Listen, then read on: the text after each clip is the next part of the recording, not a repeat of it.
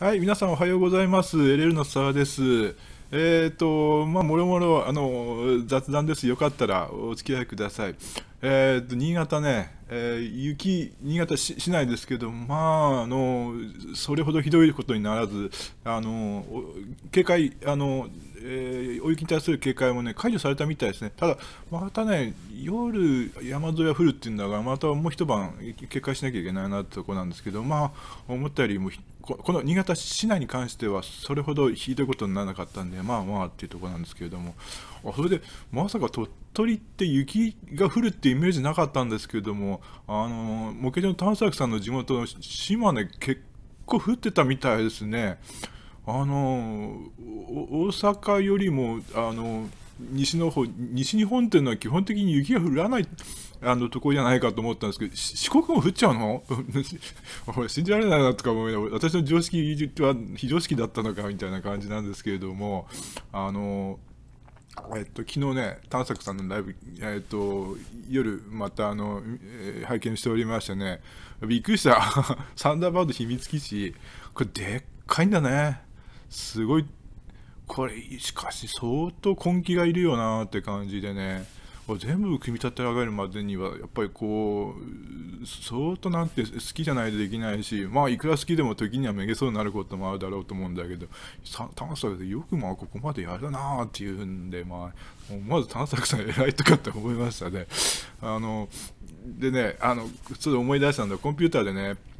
えっ、ー、と、Windows の、あの、現在の Windows の元になったのを作った人たち、名前忘れちゃったな、あの、えっ、ー、と、デジタルエクイプメント、DEC にいた人たちで、ソフあのソフトウェアの関係の人たちがあの、えっと、Windows、マイクロソフトに転籍してきたんですよね。えー、それであの OS を作るってことになってでそれがあの、えーと、現在の Windows、えー、10なんかのあの元になったものです。それまでのね Windows95 っていうのは、えーと、マイクロソフトにもともと人たちが、まあ、あのマイクロソフティと言われてた人たちが作ったんだけども出来が悪かったんですよ。まあそういうと失礼ですけれども。あのしょっちゅう落ちるしね、えーと、API なんかはね あの仕様書に書かれてる通りにやってもね動かないんだもん。本当に。で、で、後でね、ちゃんとその、さっき言ったね、名前と思い出せないんですけど、その、 DEC に行ったちが、えー、チームを率いて、で、新たにきちっと作り直したやつっていうのは、まあ、かっちり API 通り動くんで、あの、Windows 2000かな ?2000 として確か最初に公表されて、えっ、ー、と、あれが現在の、え、ー、と、Windows のベースになってます。こっちはの高信頼性ですね。で、ね、その時のね、あの逸話でね、その今の話との関連なんですけどもね、あの、まあ、OS を作るっていうのはね、もうすごい大作業なんですよ。サンダーバード秘密基地を作るどころじゃない、またさらにものすごい、あの、労力を要するんですけどもね。で、その、これはね、その問いプログラムをきれいにしてあげるのとはね、もう全然違う発想が必要なんですよ。あの時にも本当にもうダメじゃないかとかチームがなんかこう弱気になったりだとか壁にぶつかったりするときにあのいかにそれをこう引き上げてあの突破していくのかっていうマネジメントが必要になるんでね。で確かねその開発中にね他のマイクロソフトの研究中の人からねこういうやり方もあるけどどうだとかってアドバイスを受けたらしいんだけどもふざけんじゃねえとかってその、えーと、と開発のリーダーはね突っぱねたって言うんだけどもうん、そうだなと思いますね。っていうのはそのものすごく大きなレベルのものを作ろうとすると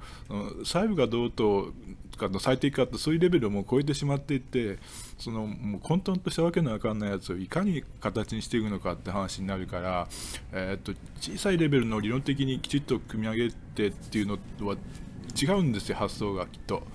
えー、まあ話が長くなります。要はそのあのちっちゃいものを正確に組み立てるプラグモデルなんかでもね、そういう技術とは別次元なんですよね、このねこのぐらいでかいのになってくるとね。えー、いや、田坂さんすげえなと思いながらね、あの昨日拝見しておりましたんですけどね、それとね、えー、っと昨日はね、えー、っと英語で、英語で発信したんですよ、どこへ行った？えー、っと、あれ、ちょっと待ってね。あ、これこれ。ああひどい英語なんだけどさ。こんな英語で通じるのかって。あの、えっ、ー、と、いつものようにあの英語版のレディっていう意味でですね、えっ、ー、と、昨日、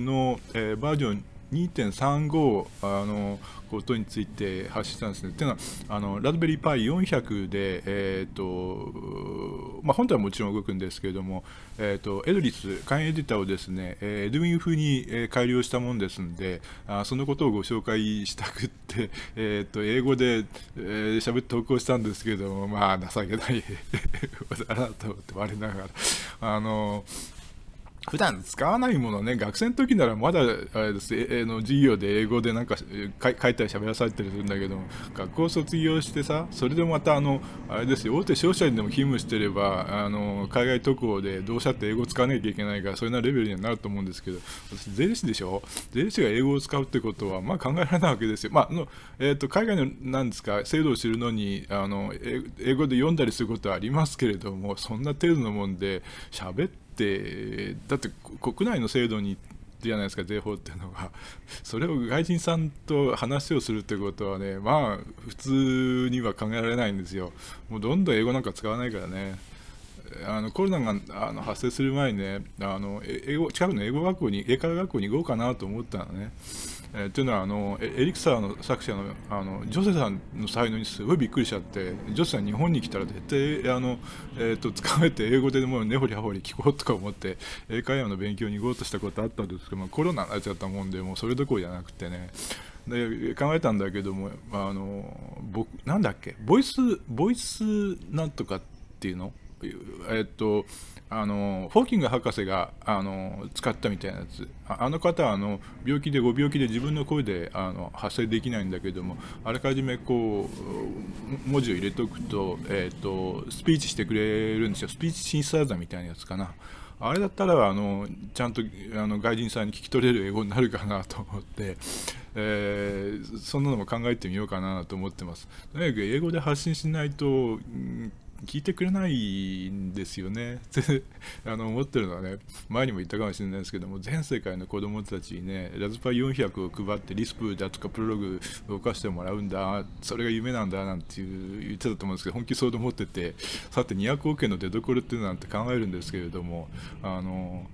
例えばねあオイルマネーあのアラブのアラブの超大金持ちの人なんかでひょっとしたらリスプだとかプロゴとかラズパイとかいいねなんて言って思ってるあの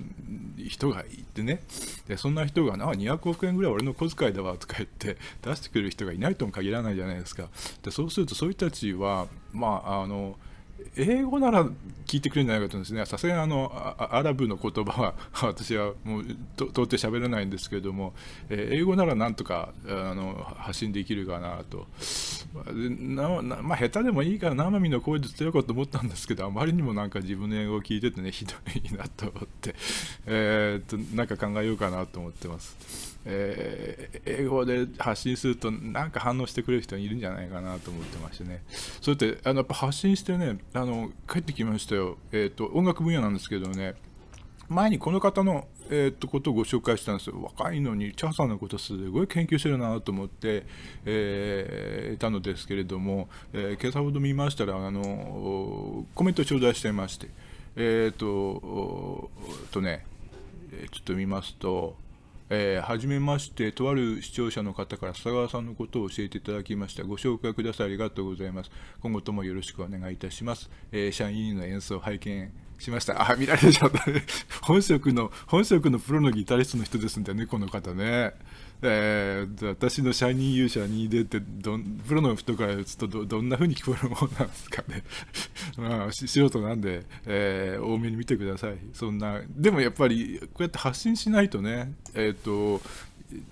伝わらないしあのあのコメントをいただくなんてこともなかったはずだから、まあ、とにかくあの手当たり次第発信してみれば何かしらあの、えーと、反応があったりするっていうのが分かってきたもんですから、えー、どうぞあの、えー、アラブの王様日本語のが分かってこの話が聞くんであればあのアラブの王様でですね、えー、ラズパイリスププログのために200億円ぐらい出したるわっていうごきな方いらっしゃいましたら どうぞご連絡をお願いいたします。はい、そんなことで、えーと、またたわいもない話を延々とお付き合いいただきましてありがとうございました。それではまたお会いしましょう。